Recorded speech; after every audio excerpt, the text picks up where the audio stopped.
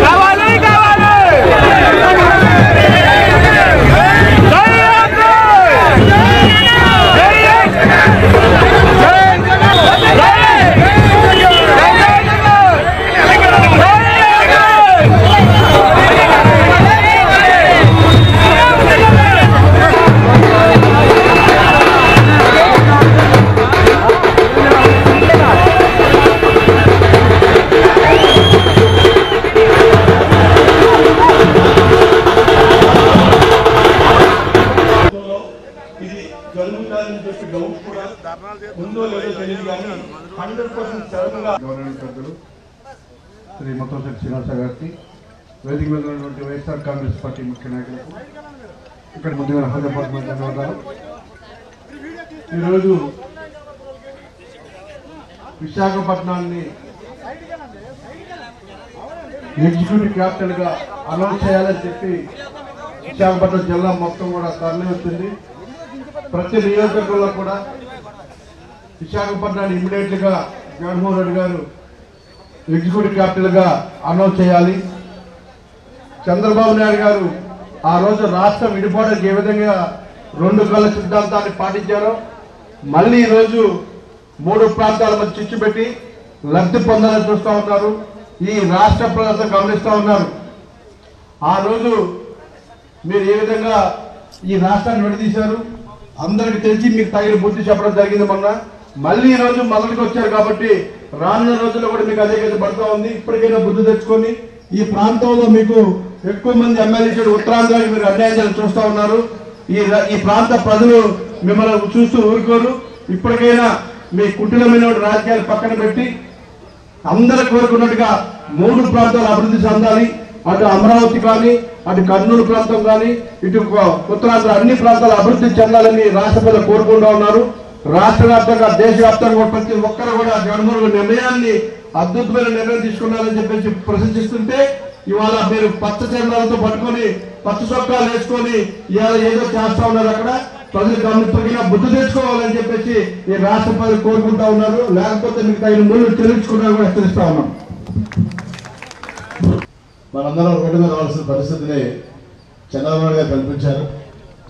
ఒక ఇరవై రోజుల క్రితం జగన్మోహన్ రెడ్డి గారు గౌరవ ముఖ్యమంత్రి గారు అసెంబ్లీలో అన్ని ప్రాంతాలు అభివృద్ధి చెందాలి. మరి మూడు రాజధానులు ఉంటే తప్పేంటి అని అసెంబ్లీలో ప్రస్తావించిన తర్వాత దాన్ని కమిటీ చేసిన తర్వాత ఆయన ఎక్కడ మంచి పేరు వస్తుందో జగన్మోహన్ రెడ్డి గారికి ఈ ప్రభుత్వానికి మంచి పేరు ఎక్కడ వస్తుందో అని జగన్మోహన్ రెడ్డి గారు ప్రభుత్వాన్ని అస్థిరపరచాలని అప్రదిష్ట పాలు చేయాలని మరి అప్పుడు మూడు ప్రాంతాల ప్రజల ఓట్లతోటి గెలిచిన చంద్రబాబు నాయుడు గారు ఇప్పుడు ప్రతిపక్ష నాయకుడు గారు ఆయన ఒక ప్రాంతానికి వర్గానికి కొమ్మ కాసే విధంగా ఆయన ఈ రోజు అమరావతిలో ప్రజలు రెచ్చగొట్టడం మహిళల్ని తోటి ముఖ్యమంత్రి గారిని ప్రభుత్వాన్ని తిట్టించడం ముఖ్యమంత్రి గారు ఏదో అమరావతికి అన్యాయం చేస్తారనే భ్రమను కల్పించడం అని చేస్తున్నారు. మనం ఒకటే అడుగుతున్నాం చంద్రబాబు గారు గతంలో మీరు మూడు సార్లు ముఖ్యమంత్రి అయ్యారంటే అన్ని ప్రాంతాల ప్రజలు ఓట్లే కొట్టి ముఖ్యమంత్రి అయ్యారు. ఈరోజు అన్ని ప్రాంతాల ప్రజలు ఓట్లే కొట్టే ప్రతిపక్ష నాయకుడు అయ్యారు మీరు. విశాఖ జిల్లాలో కూడా మీ పార్టీకి నలుగురు ఎమ్మెల్యేలు గెలిపించారు విశాఖపట్నం ప్రజలు. అంటే విశాఖ రాజధాని వస్తే ఇక్కడ ప్రజలు ఎక్కడ అభివృద్ధి చెందుతారో వీళ్ళు అభివృద్ధి చెందితే మన మాట ఎక్కడెందరో అని ఆయన అమరావతిలో కృత్రిమ ఉద్యమాలు సృష్టించి శాంతి భద్రతలకు వివాదం కలిగిస్తూ రోజు ప్రజలు రెచ్చగొట్టి ఎమ్మెల్యేల మీద దాడులు చేయండి మనుషుల మీద దాడులు చేయండి అని చెప్తున్నాడు. మేము ఒకటే అడుగుతున్నాం ఈ రోజున పదమూడు జనాల ప్రజలు కష్టపడితేనే గవర్నమెంట్కి ట్యాక్స్ వస్తుంది. ఆ ట్యాక్స్ డబ్బులతోనే మీరు రాజధాని అక్కడ కట్టిన ఎక్కడ కట్టిన జగన్మోహన్ రెడ్డి గారు గౌరవ ముఖ్యమంత్రి గారు ఏం చెప్తున్నారు? ఈ రాష్ట్రంలో ఉన్నటువంటి సంపద అంతా కూడా ఒక ప్రాంతానికో వర్గానికో పరిమితం కాకుండా అన్ని వర్గాలకి అన్ని ప్రాంతాలకి సమానంగా పంచాలి. పంచాలంటే అభివృద్ధి వికేంద్రీకరించాలి. మూడు ప్రాంతాలకు కూడా సమానంగా అభివృద్ధి చెందితేనే మళ్ళీ రాబోయే రోజుల్లో వేర్పాటువాద ఉద్యమాలు రావు. గతంలో తెలంగాణ ఉద్యమం చూసాం మనం. తెలంగాణ ఉద్యమం యొక్క అనుభవాన్ని కూడా చూసాం. మరి హైదరాబాద్ అంత డెవలప్ అయినా కూడా తెలంగాణ ప్రజలు కావాలి రాష్ట్రం ప్రత్యేక రాష్ట్రాలు కావాలని కోరుకుని ప్రజల నుంచి వచ్చిన ఉద్యమం కాబట్టి అన్ని రాజకీయ పార్టీలు కూడా దాన్ని తలొగ్గి తెలంగాణ రాష్ట్రం ఏర్పడింది. మళ్ళీ అదే తప్పు ఈ రోజున పదమూడు జిల్లాల్లో ఉన్న సంపదంతో తీసుకెళ్ళి అమరావతి అనే ప్రాంతంలో పెడితే వెనకబడినటువంటి ఈ రాయలసీమ ఎప్పటికీ వెనుకబడి ఉంటుంది. వెనకబడిన ఉత్తరాంధ్ర ఎప్పటికీ వెనుకబడి ఉంటుంది. రాయలసీమలో ముఖ్యంగా కావాల్సింది నీటి సమస్య. ఆ నీటి సమస్య అధిగమించాలంటే కొన్ని వేల కోట్ల రూపాయలు ఖర్చు పెట్టాలి. మరి కరువు ఎప్పటి నుంచో ఉంది. అనంతపురం కానీ మరి కడప కర్నూలు వీటిల్లో. అలాగే ఉత్తరాంధ్రలో ఉద్యోగ ఉపాధి అవకాశాలు రావాలి. ఆల్రెడీ విశాఖపట్నం లాంటి సిటీ డెవలప్ అయి ఉంది. ఇక్కడ ఎగ్జిక్యూటివ్ క్యాపిటల్గా పెడితే తక్కువ ఖర్చుతోటి విశాఖపట్నాన్ని ఒక అంతర్జాతీయ స్థాయి నగరం కింద తీర్చిదిద్దొచ్చని వారు భావించి మూడు ప్రాంతాల్లో కూడా అభివృద్ధి చెందాలి. మరి ఇక్కడ ఎగ్జిక్యూటివ్ క్యాపిటల్ ఇస్తాం. కర్నూలులో హై జుడిషియల్ క్యాపిటల్ ఇస్తాం. అలాగే పొలిటికల్ క్యాపిటల్ మన అమరావతిలో ఇస్తామని చెబితే దాన్ని వక్రీకరించి ఈ రోజున కులాల మధ్యన ప్రాంతాల మధ్యన విద్వేషాలు రచ్చగొట్టి విశాఖపట్నానికి మరి ఆయన ఈ రాజధాని రాకుండా అడ్డుకునే కుట్ర చేస్తున్నారు. దీని అందరూ కూడా ప్రజలందరూ కూడా గమనించాలి. చంద్రబాబు నాయుడు యొక్క నిజ స్వరూపం ఇప్పుడు ప్రజలు తెలుసుకున్నారు. మరి మొన్న ఎలక్షన్లో తెలుసుకోబట్టే ఆయనకి ఇరవై మూడు సీట్లతో సరిపెట్టారు. మరి అమరావతిని డెవలప్ చేసా డెవలప్ చేస్తామని చెప్తున్న వ్యక్తి కూడా అమరావతిలో కూడా నలభై ఏడు సీట్లు ఉంటే సిఆర్డీఏ పరిధిలో ఓన్లీ మూడు సీట్లు ఇచ్చారు తెలుగుదేశం పార్టీ. అయినా కూడా ఈ ఆరు నెలల నుంచి జగన్మోహన్ రెడ్డి గారు చేసే అభివృద్ధి సంక్షేమ కార్యక్రమాలు ప్రజల్లో బలకలే బలంగా ప్రజల్లో ఆయన కూడా ఎక్కడ పెరిగిపోతుందో ఆ నాయకత్వం ఎక్కడ మరి గట్టిపడుతుందో అని ఈ రోజున ఒక కుట్ర కుతంత్రాలతోటి ప్రభుత్వాన్ని అస్థిరపరిచే కుట్రకి తరలిపినటువంటి నాయకుడు చంద్రబాబు నాయుడు గారు. ఆయనకి తోడుగా ఆయన తానా అంటే తందాన అనే వ్యక్తి పవన్ కళ్యాణ్ గారు. పవన్ కళ్యాణ్ గారికి రాజకీయాల గురించి ఏం తెలియదు. ఆయన మరి ఒకటే అడుగుతున్న పవన్ కళ్యాణ్ గారు ఆయన కనుక అమరావతి అంత ప్రేమ ఉంటే మన అమరావతిలోనే పోటీ చేయాల్సింది. ఓట్ల కోసం మాత్రం గాజువాక ప్రజలు కావాలి ఉత్తరాంధ్ర ప్రజలు కావాలి మరి ఆయన క్యాపిటల్ మాత్రం అమరావతి కావాలి. ఇది ఎక్కడ న్యాయం పవన్ కళ్యాణ్ గారు? మరి ఈ విషయాన్ని మీ పుస్తకాలు అక్కడ చెప్పలేదా? మరి ఆనాడు బాబాసాహెబ్ అంబేద్కర్ చెప్పిన రాజ్యాంగం ఇచ్చిన హక్కు ఇది. అన్ని ప్రజలు కూడా అందరూ అన్ని అందరి అన్ని ప్రాంతాల ప్రజలు మరి స్వేచ్ఛ వాయువుతో జీవించాలి సమానంగా అభివృద్ధి చెందాలి అప్పుడే సమ సమాజం వస్తుంది నవ సమాజం వస్తుందని చెప్పాడు బాబాసాహెబ్ అంబేద్కర్ గారు. కానీ మీరు మాత్రం ఓ పెట్టుబడిదారి వర్గానికి కొమ్ము కాసే విధంగా చంద్రబాబు నాయుడికి తానంటే తందానని చెప్తున్నారు. అన్ఫార్చునేట్ థింగ్ ఏంటంటే కమ్యూనిస్ట్ సోదరులు కూడా ఆయనకి వంతపాడుతున్నారు చంద్రబాబు నాయుడు గారికి అధికారం లేనప్పుడు కమ్యూనిస్ట్ గుర్తొస్తారు. ఎందుకంటే ఉద్యమాలు చేయాలంటే కమ్యూనిస్టులు గుర్తొస్తారు. ఒకటే చెప్తున్నాం ఈ రోజున ఉత్తరాంధ్ర దశాబ్దాల నుంచి వెనకబడతానని గురైనమాట వాస్తవం. మరి ఈ రోజున ఇప్పటికీ విశాఖ జిల్లాలో చాలా గ్రామాల్లో హాస్పిటల్స్ లేవు స్కూల్స్ లేవు. అలా విజయనగరం జిల్లా అంటే శ్రీకాకుళం జిల్లాలో అత్యధికంగా వలస పెడుతున్నారు శ్రీకాకుళం జిల్లా నుంచి. మరి ఈ మూడు జిల్లాలు అభివృద్ధి చెందాలంటే ఇక క్యాపిటల్ వస్తే ఆటోమేటిక్గా పరిశ్రమలు పెరుగుతాయి పరిశ్రమలు పెరిగితే ఉద్యోగ ఉపాధి అవకాశాలు వస్తాయని ఈ ప్రాంత ప్రజలు భావిస్తున్నారు. కాబట్టి తప్పనిసరిగా మరి జగన్మోహన్ రెడ్డి గారు ఏదైతే అనౌన్స్మెంట్ ఇచ్చారో ఈ ఎగ్జిక్యూటివ్ క్యాప్ట్ అనౌన్స్మెంట్ ఎవరైనా అడ్డుకుంటే ఈ ప్రజా ఆగ్రహానికి తప్పనిసరిగా బలిగావాలని కోరుకుంటూ మరి ఇప్పుడే మన ఎంపీ గారు వచ్చారు వారికి కూడా గట్టిగా తప్పకుండా ఒకసారి స్వాగతం పలుస్తుందని కోరుకుంటూ మరి రాబోయే రోజుల్లో చంద్రబాబు గారిని ఈ భీముడి గురించి చెప్తున్నాం. ఇప్పటికైనా మీ ఆలోచన మార్చుకోండి మీ పందా మార్చుకోండి. మీరు అన్ని ప్రాంతాల ప్రజలు ఓట్లు వేస్తేనే ముఖ్యమంత్రి అయ్యారు. అన్ని ప్రాంతాల ప్రజలు ఓట్లు వేస్తేనే మీరు ప్రతిపక్ష నాయకులు అయ్యారు. ఈ రోజున మీరు జాతీయ పార్టీ అని చెప్పుకునే మీరు జాతీయ నాయకులు చెప్పుకునే మీరు ఒక జాతికి నాయకుడిగా మిగిలిపోవద్దని ఒక వర్గానికి ప్రాంతానికి ఇరవై తొమ్మిది గ్రామాలకి మిగిలిపోవద్దని మిమ్మల్ని కోరుకుంటూ ఈ రోజున సుమారుగా పదహారు వేల పైగా గ్రామాలు ఉన్నాయి. ఆంధ్రప్రదేశ్ రాష్ట్రంలో పదహారు వేల తొమ్మిది వందల గ్రామాలు అభివృద్ధి చెందాలి. అంతేగాని మీ ఇరవై తొమ్మిది గ్రామాలు అభివృద్ధి చెందితేనే అదే అభివృద్ధి. లేకపోతే నేను ఏమంటున్నాడు? అమరావతిని రక్షించుకుందాం. అమరావతి తీసుకెళ్ళిపోతున్నారా గతంలో సమైక్యత ఉద్యమంలో హైదరాబాద్ రక్షించుకోవాలాగా అమరావతి ఆంధ్రప్రదేశ్లో ఉంటుంది విశాఖపట్నం ఆంధ్రప్రదేశ్లో ఉంటుంది అలాగే కర్నూలు కూడా ఆంధ్రప్రదేశ్ ఉంటుంది. ఈ ఉన్న ప్రాంతాల్లోనే అభివృద్ధిని వికేంద్రీకరిద్దాం సమాంతరంగా అభివృద్ధి చేద్దాం అని జగన్మోహన్ గారు చెప్తుంటే ఈయన రెచ్చగొట్టి వీళ్ళు జోలు పట్టి అనుకుంటున్నాడు. మరి ఈయన ఈ ఐదేళ్ళలో సంపాదించిన డబ్బులన్నీ ఎక్కడ దాచాడో? అంటే ఉద్యోగం చేయడానికి కూడా చంద్రబాబు నాయుడు డబ్బులు లేవు అని ప్రజలు అనుకోవాలని ప్రజల్ని మభ్యపెట్టడానికి మళ్ళీ ఒక కొత్త నాటకాన్ని ఖరీదిస్తారు ఆయన. అంటే ఇవన్నీ కూడా చంద్రబాబు గారు వ్యవస్థ పెట్టిన విద్య. ఆయన రాజకీయం అంతా కూడా నలభై సంవత్సరాలు కుట్రలు కుతంత్రాలతోనే జరిగింది. మరి ఇప్పుడు కూడా జగన్మోహన్ రెడ్డి గారు ఈయన పేద ప్రజల సంక్షేమం కోసం నవరత్నాలు పెట్టడం కానీ అలాగే మేనిఫెస్టోలో పెట్టినటువంటి సమస్యలన్నీ కూడా ఐదు సంవత్సరాల్లో పరిష్కరించాల్సిన సమస్యల్ని ఐదు నెలల్లోనే పరిష్కరించినటువంటి ఏకైక ముఖ్యమంత్రి వైఎస్ జగన్మోహన్ గారు చూస్తుంది ఒక్క ఇళ్ళ సమస్య ఉంది. ఇప్పుడే ఒక అమ్మాయి చెప్తుంది ఇల్లు కావాలని.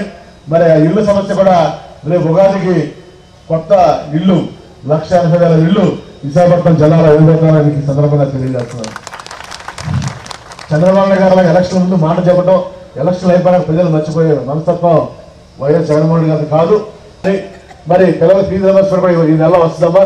అమ్మఒడి కూడా నిన్న ఆరు వేల ఐదు కోట్ల రూపాయలు వేశారు. ఒక్క రోజు ఆరు వేల కోట్ల రూపాయలు తల్లులందరూ కూడా ట్రాన్స్ఫర్ చేశారు. నలభై లక్షల మంది తల్లులు ఇలా అడగండి అమ్మాయిని పెట్టదంటారు. మరి అడగకుండా అన్నీ పెట్టిన నాయకుడు వైఎస్ జగన్మోహన్ లక్షల మంది యువతకి ఉద్యోగ ఉపాధి అవకాశాలు కల్పించారు. ఇక్కడ ఇంజనీరింగ్ పిల్లలు కూడా చాలా మంది ఉన్నారు. మన దగ్గరికి క్యాంపస్ ప్లేస్మెంట్స్ కోసం హైదరాబాద్ బెంగళూరు చెన్నై వెళ్తుంటారు రేపు రాబోయే రోజుల్లో విశాఖపట్నం ఎగ్జిక్యూటివ్ క్యాపిటల్ వస్తే పరిశ్రమలు ఎక్కడికి వస్తాయి వాటిల్లో డెబ్బై ఐదు శాతం మరి స్థానికులకు ఉద్యోగ ఉపాధి అవకాశాలు కల్పించాలని చట్టాలు ఇచ్చినటువంటి దమ్ముల నాయకుడు వైఎస్ జగన్మోహన్ రెడ్డి గారు. మరి అలాగే సంపూర్ణ మద్యపాన విషయాలు అమలు చేయాలని వైఎస్ఆర్ రైతు భరోసా ఏంటి? మరి ఇలా ఒక పథకం కాదు. ఈయన చెప్పాలని గంట పైగా పడుతుంది. కాబట్టి అన్ని వర్గాల ప్రజలు మహిళలు యువత అలాగే పెన్షనర్ వెయ్యి రూపాయల మీద రెండు వేల చేయడానికి కారణం ఈయనే. ఈ రెండు వేల రూపాయలు కూడా మూడు వేల రూపాయలు చేస్తారు. మరి ఒక రేషన్ కార్డు రావాలన్నా పెన్షన్ కావాలన్నా ఇల్లు కావాలన్నా ఏది కావాలన్నా కూడా అది ఒక వైఎస్ఆర్సీపీ ప్రభుత్వంతోనే సాధ్యమవుతుంది. ఒక వైఎస్ జగన్మోహన్ గారితో సాధ్యమవుతుందని తెలియజేసుకుంటూ అన్నిటికంటే ఇంపార్టెంట్గా ఇక్కడ పిల్లలు చాలామంది ఉన్నారు. అవినీతి గురించి మీరు సినిమాల్లో హీరో డైలాగులు పొలిటీషియన్స్ డైలాగులు చూస్తుంటారు. నిజ జీవితంలో అనుకుంటాం మనం. నిజ జీవితంలో సాధ్యమా? అవినీతి లేకుండా పరిపాలన చేయగలరా అని. కానీ ఈ ఆరు నెలల కాలంలో మరి ఒక్కటంటే ఒక్కటి అవినీతి మచ్చ లేకుండా పనిచేసినటువంటి ఏకైక ముఖ్యమంత్రి దేశంలో వైఎస్ జగన్మోహన్ రెడ్డి గారు.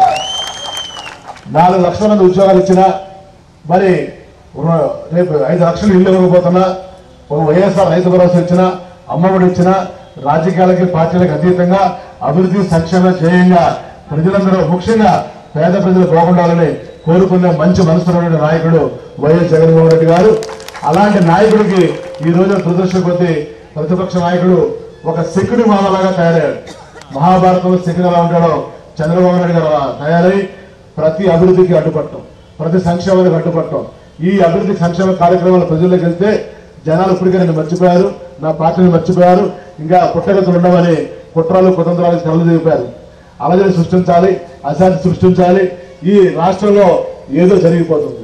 ఈ రాష్ట్రం అనేది అన్యాయం అయిపోతుంది అమరావతి అన్యాయం అయిపోతుంది రైతులు ఏదో అయిపోతున్నారు. రైతుల గురించి ఎంత హేళనగా మా చంద్రబాబు నాయుడు నువ్వు రైతుల గురించి మాట్లాడుతున్నావు.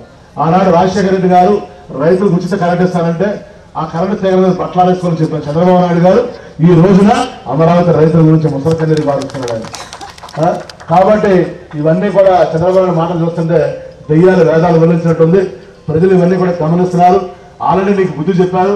రేపు రాబోయే రోజుల్లో కూడా మరింత బుద్ధి చెప్పడానికి ప్రజలు సిద్ధంగా ఉండాలని తెలియజేసుకుంటూ తప్పనిసరిగా విశాఖ ఎగ్జిక్యూటివ్ క్యాపిటల్గా ప్రకటించే వరకు కూడా ఈ పోరాటం ఆరంభం మాత్రమే అంతం కాదని తెలియజేస్తుంటూ మీ అందరికీ మరొకసారి ఉదయపూర్వక నమస్కారాలు ధన్యవాదాలు తెలియజేస్తుంటూ గట్టిగా ఒకసారి జై హింద్ జై జగన్ జై జగన్ జై జగన్.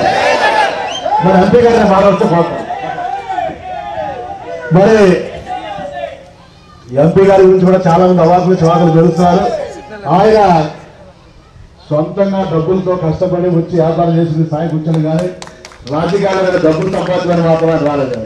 కానీ అలాంటి వ్యక్తులు కూడా రోజు పేపర్ ఎక్కించడం ఎల్లో మీడియా ఏదో బదనాం చేయాలని చూస్తున్నారు.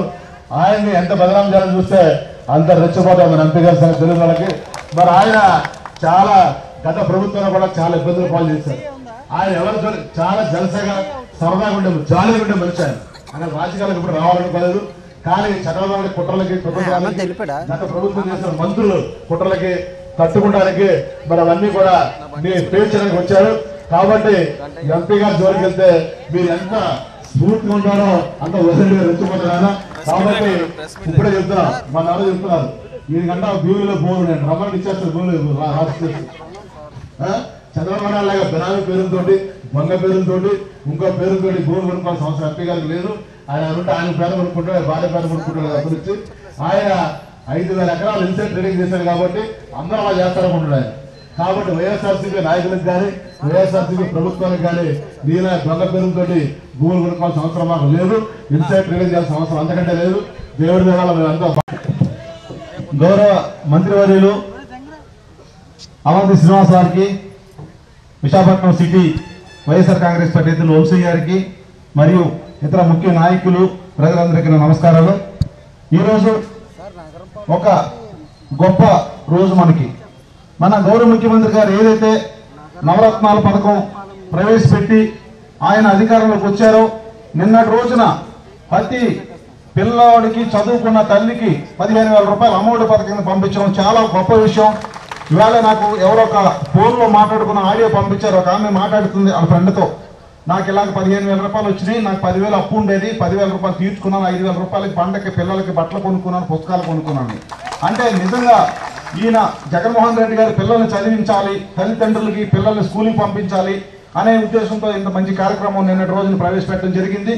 అదేవిధంగా ముఖ్యంగా ఇంకా ఆరోగ్యశ్రీ పథకాలు కానీ ఆరోగ్యం కానీ పెన్షన్ కానీ లేకపోతే ఇల్లులు కానీ ఉగాదికి అందరికీ ఇల్లులు ఇచ్చే కార్యక్రమం కూడా ప్రవేశపెడుతున్నారు. ఆయన ఏదైతే నవరత్నాలు ఆయన ప్రవేశ ప్రామిస్ చేశారో ఇదివరకు మన చంద్రబాబు నాయుడు గారు దొంగ చంద్రబాబు నాయుడు గారు అన్ని ఇంత లావు పుస్తకాలు మేనిఫెస్టోలు పెట్టాడు ఏది కూడా అమల్లోకి రాలేదు. ఈయన ఓన్లీ నవరత్న ఒకే ఒక పేపర్ పెట్టేసి ఆయన మొత్తం అన్ని పథకాలు కూడా అతి తొందరలోనే ఎనభై శాతం ఆయన చేసిన గొప్ప వ్యక్తి ఆయన. అంత గొప్ప మహానాయకుడు మనకు ముఖ్యమంత్రి కావడం వల్ల మనందరం అదృష్టం.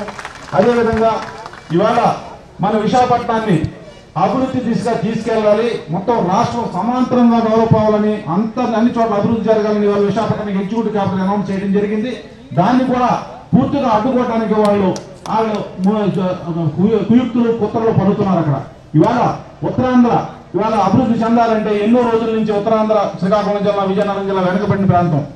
అదేవిధంగా రాయలసీమ వెనకబడిన ప్రాంతం. ఎప్పుడు కృష్ణా జిల్లా ఎప్పుడు అభివృద్ధి చెందిన ప్రాంతం అది. అక్కడ పట్టుకెళ్ళి ఆ ప్లేస్లో మొత్తం రాష్ట్రంలో వచ్చిన డబ్బంతా లక్ష కోట్లు అక్కడ పెట్టి పెట్టి అక్కడ అభివృద్ధి చేస్తానని వాళ్ళ వ్యాపారాల కోసం వాళ్ళ ఆస్తుల కోసం అక్కడ చేయటం జరుగుతుంది. కానీ దాన్ని పూర్తిగా మన గౌరవ ముఖ్యమంత్రి గారు జగన్మోహన్ రెడ్డి గారు మన రాష్ట్రంలో ప్రతి ఒక్కరు సమానంగా ఉండాలి అందరూ సమానంగా డెవలప్ అవ్వాలి. అదేవిధంగా ఉత్తరాంధ్ర కూడా అభివృద్ధి చెందాలి అదేవిధంగా రాయలసీమ అభివృద్ధి చెందాలని మూడు రాజధానులు అని పెట్టాలనే ఉద్దేశంతో ఒక మంచి కార్యక్రమంతో ఆయన ముందుకు రావడం జరిగింది.